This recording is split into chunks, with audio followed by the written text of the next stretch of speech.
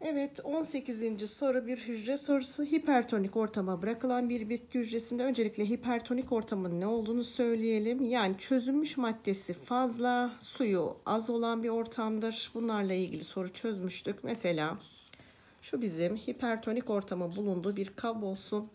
Ben bu hücreyi A hücresi diyelim. %70'lik sodyum klorür bulunan bir ortama koyayım. Hücre içindeki tuz miktarım da %10 olsun. Tabii ki bir hücre kendisinden daha yoğun bir ortama yani hipertonik ortama konulduğu zaman ne oluyordu arkadaşlar? Su kaybedip büzülüyordu. Biz bu duruma ne diyorduk? Hatta bu durumun bir ismi var.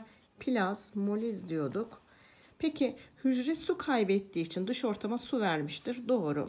Su kaybettiği için Su alma isteği olan emme kuvveti de tabii ki doğal olarak ne olmuştur? Artmıştır. Turgor basıncın artması söz konusu değildir. Çünkü turgor basıncı suyun yaptığı basınçtır. Zaten hücremiz su kaybediyor. Yani turgor basıncı azalır. O yüzden üçüncü öncülü kabul etmiyoruz. Cevabımız 1 ve 2.